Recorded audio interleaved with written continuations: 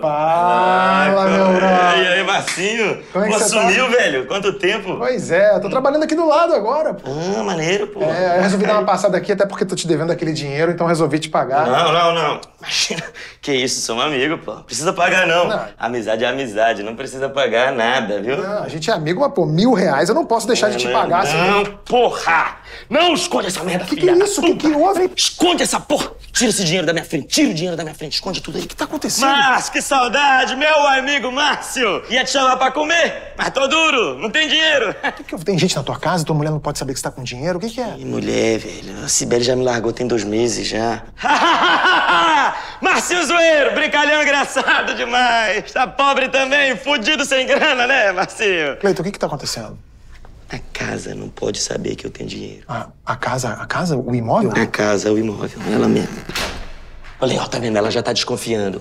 Essa casa aqui, toda vez que ela percebe que eu tô com dinheiro extra, ela dá um jeito de quebrar alguma coisa. Esses meses agora, eu guardei um dinheiro pra viajar pra Búzios. Eu falei no telefone, vou pra Búzios. Pá! Estourou o cano do banheiro. Mas estourou mesmo, não foi o cano de água limpa. Foi o cano de bosta.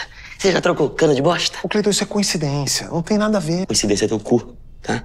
Coincidência não existe. Coincidência não é científico, tá legal? Você já percebeu que a geladeira fica dando uns estalos de madrugada?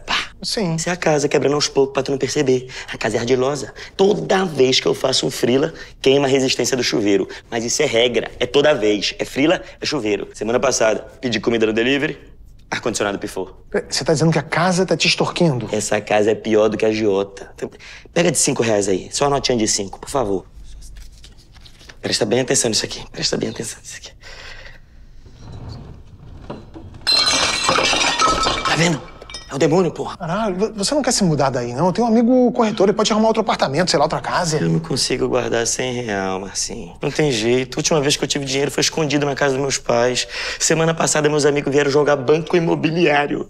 Eu tirei a nota do bolso do banco imobiliário. A televisão explodiu, meu amigo.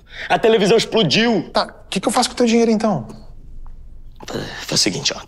Na saída aqui, tu fala com o porteiro, entendeu? Tem um esquema com ele. Tu dá o dinheiro inteiro pro porteiro, tá? Ele bota numa caixinha, aí tem um muro ali na outra rua, que depois eu pego lá. Quarta que vem eu pego lá. Tô com pressa, não. Não é melhor, sei lá, eu transferir pra tua conta? Tu é doido, porra. Se o banco sabe que eu tenho dinheiro, eu tô fudido. Fatura atrasada. Caralho.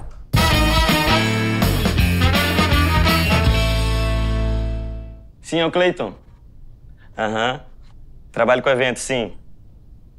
É, nesse dia eu tô livre. Eu, eu só preciso fazer uma pergunta. Vocês estão pagando quanto? Ah, não, não. É, é muito. Vocês estão pagando demais. Tem, tem como pagar mais baixo, mais barato? É, não, pra mim não tem condição. Essa grana toda. Fa- Faz o seguinte, vamos, vamos fazer de graça, então. Vamos fazer de graça? Beneficente isso, beneficente. É, é 3 quilos de a- a- alimento não perecível, mesmo arroz, até açúcar, tá?